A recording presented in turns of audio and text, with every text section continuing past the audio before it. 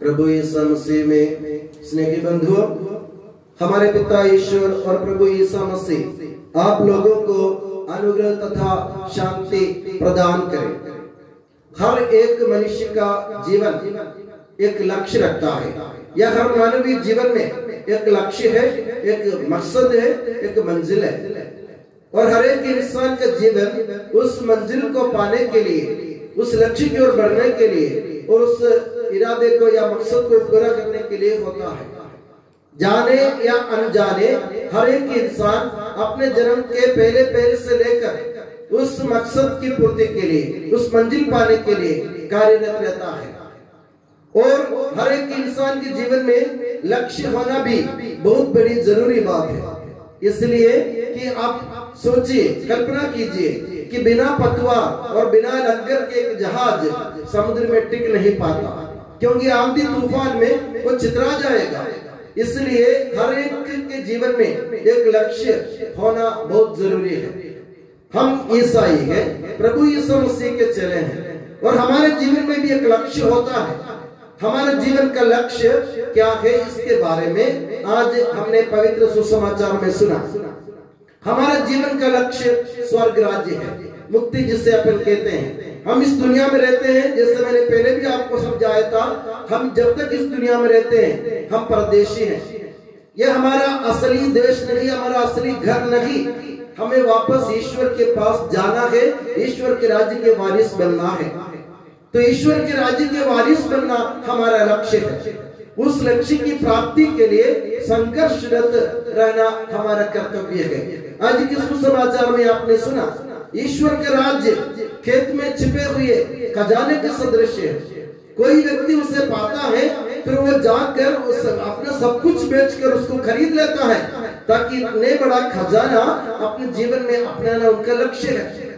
और उस पे इसी उसके बाद प्रभु कहते हैं कि स्वर्ग का राज्य उस मोती के, बहुमूल्य मोती के सदृश है। जो भी व्यापारी उसको ढूंढते और पाते हैं, वो उसके, उसको सब कुछ बेचकर उसको खरीद लेता है।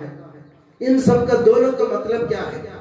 हमको मालूम है, जब अपने जीवन के लक्ष्य पाने के लिए कोई व्यक्ति व्यक्ति कार्यरत रहता है, उन्हें अपने जीवन में कुछ ना कुछ त्यागना पड़ता है। उन्हें अपने जीवन में कुछ ना कुछ चीज़ों से ना बोलना पड़ता है। उन्हें अपने सांसारिक जीवन की चीज़ों में मन नहीं लगाना पड़ता है। उदाहरण के लिए, क्रिकेट खेलने वाले बल्लेबाज, जब बल्लेबाजी करने के लिए वो अपने क्रीज पर खड़ा रहता है उसकी नज़र सिर्फ़ उस गेंद पर है जो आगे वाले फेंकने वाला है। वो ये नहीं सोचता कि कौन बॉल फेंक रहा है, कौन गेंद मेरी तरफ़ फेंक रहा है, वो नहीं देखता। जो गेंद उसकी तरफ़ आ रहा है, उसी को देखता है। इसको कहते लक्ष्य की ओर दृष्टि गढ़ाना। और जो व्यक्ति, इसलिए वो, जो क्रिकेट के बल्लेबाज है, वो दुनिया की सारे नजारों को भुला भुला देते हैं, ताकि वो अपने लक्ष्य को पा सके। और जैसे आप कल्पना कीजिए, कोई अच्छा गायक स्वर हो, कोई अच्छा गायक स्वर हो जो अपना अपना स्वर बनाए रखना चाहता है, अपनी आवाज़ बुलंद रखना चाहता है, वो अपने जीवन में ठंडी चीज़ें नहीं खाता। आपको मालूम नहीं है, जब कोई गायक स्वर होता है, वो आइसक्रीम नहीं खाता, वो ठंडा पानी नहीं पीता, वो कोई ठंडी चीज़ें नहीं खाता कोई मतलब आपने जो से मिरिंडा है फांटा है, जो फ़िश जिसे अपन कहते हैं, इसी प्रकार की कोई भी चीज़ें, वो नींद खाता नींद पीता, कारण क्या है? उसको अपना स्वर बनाए रखना पड़ता है। उसको सब कुछ त्यागना पड़ता है अपने लक्ष्य के लिए। और जब कोई मैदान में खड़ा रहता है दौड़ने के लिए, वो व्यक्ति सिर्फ़ उस ट्रैक को देखता है जिस पर उसको दौड़ना है। ये नहीं सोचता कि मेरे बगल में कौन है, मेरे आजू बाजू में कौन है, वो नहीं देखता। उसका लक्ष्य सिर्फ़ उस आखिरी पॉइंट पर रहता है, जिसको उसको पार करना है। तो इसी तरह हमारे जीवन में भी लक्ष्य पाना हो तो हमें भी अपने मन को ईश्वर की ओर लगाने की ज़रूरत है। स्वर्ग राज्य की ओर लगाने की ज़रूरत है। इसके लिए हमें क्या करना है?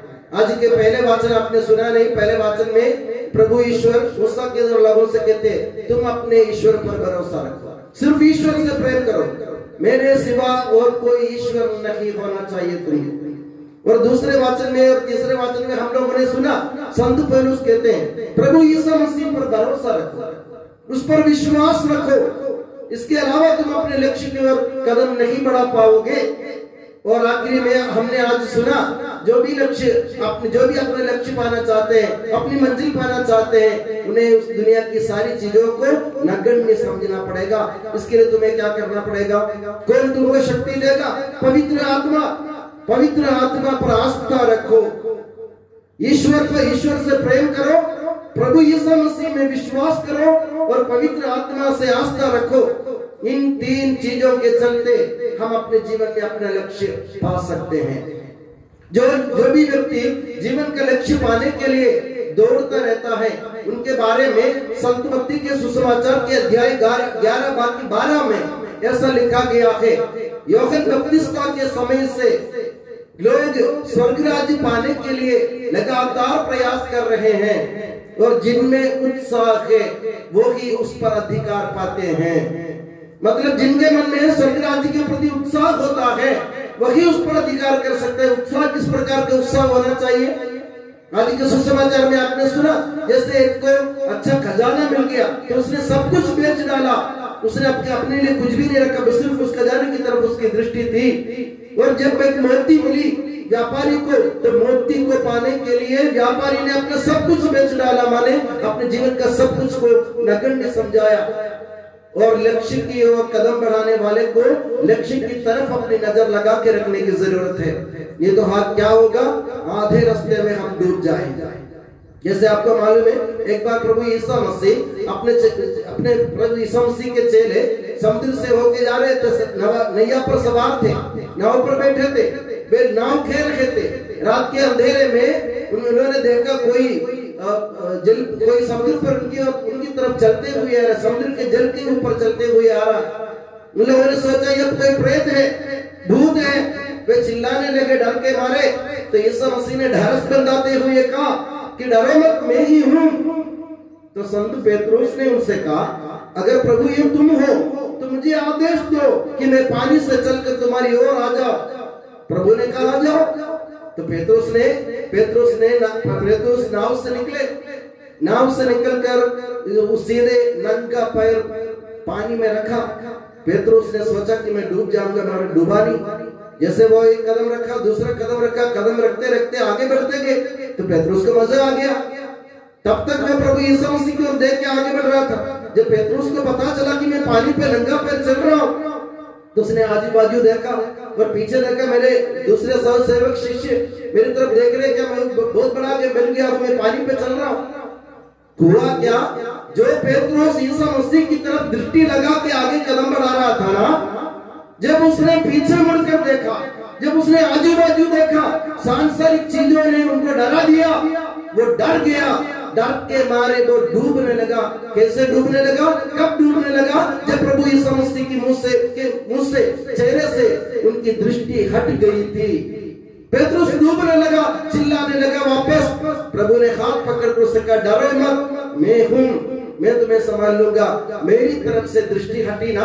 प्रभु कहते हैं, मेरी तरफ़ से दृष्टि हटी तो तुमको ये समझो, तुम्हारे जीवन में दुर्घटना घटी घटी यह तो समझ जाओ प्रभु यीशु मसीह की तरफ़ ईश्वर की तरफ़ स्वर्गी की तरफ़ दृष्टि लगाते हुए हमें अपने जीवन आगे बढ़ाने की ज़रूरत है, लक्ष्य को कदम बढ़ाने की ज़रूरत है। जो भी अपने जीवन को, लक्ष्य को पाने के लिए कदम बढ़ाता है, अगर उसकी दृष्टि सांसारिक चीज़ों में, नश्वर चीज़ों में, क्षण भंगुर चीज़ों में जो मिट जाते हैं, ऐसी चीज़ों में लगी रहती है, उनकी दृष्टि तो वो इंसान कभी अपने जीवन में अपनी मंजिल नहीं पा सकेगा। ये आज के सुसमाचार का संदेश है। तो हमें क्या करना चाहिए? प्रभु ईश्वर से प्रेम करो, प्रभु यीशु मसीह पर विश्वास करो और पवित्र आत्मा पर आस्था रखो। ये हमारे कदम को सशक्त और ठोस बना देंगे। और मैं दुआ करता हूँ कि प्रभु यीशु मसीह और माता मरियम, आप सभी को हमेशा अपनी नियामत की छत्र छाया में सुखी और सुरक्षित रखें। पिता पुत्र और पवित्र आत्मा के नाम पर अमीन